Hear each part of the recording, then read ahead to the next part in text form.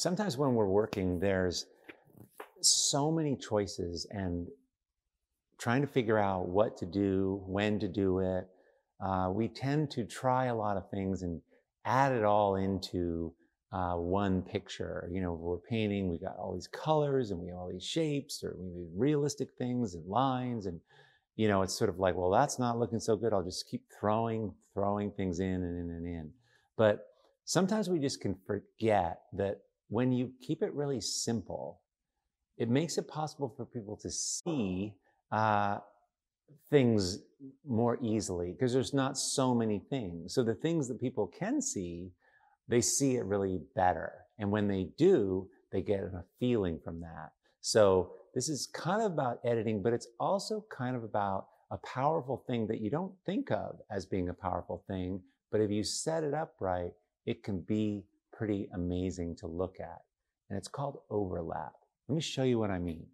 Okay, so if you have a picture,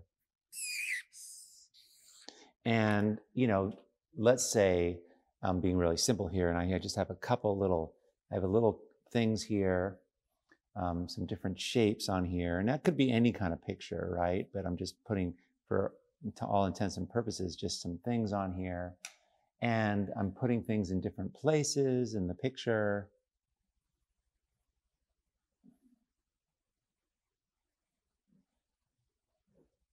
And this is, you know, it's kind of cool, kind of fun, right? Um,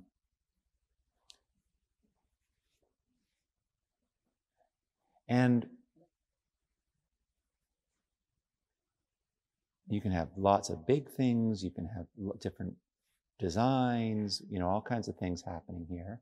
So I'm just putting some different things on here.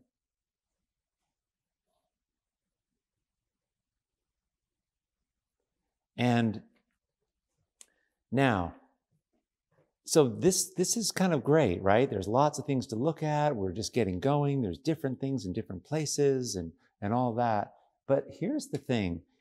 Bringing in overlap bringing in things that are on top of things especially once it's all dried um, let me just show you how powerful that can be.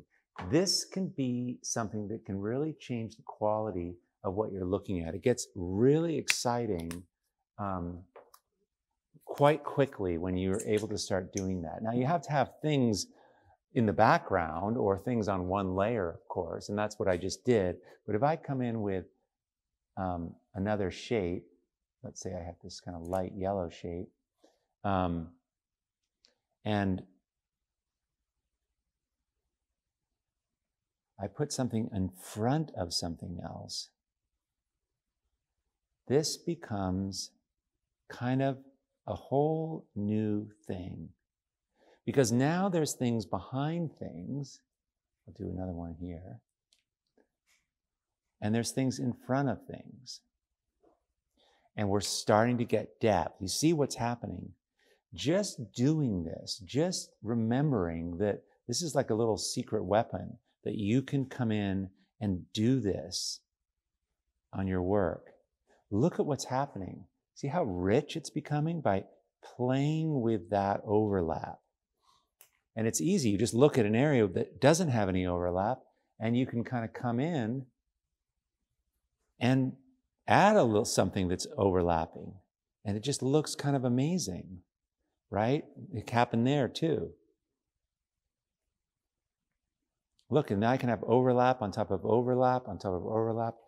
Things are getting richer and more complicated but it's not because I have some master plan, it's because I'm playing around with overlap. So don't forget this amazing little, you know, this little concept because it makes art and it makes it look good in a hurry.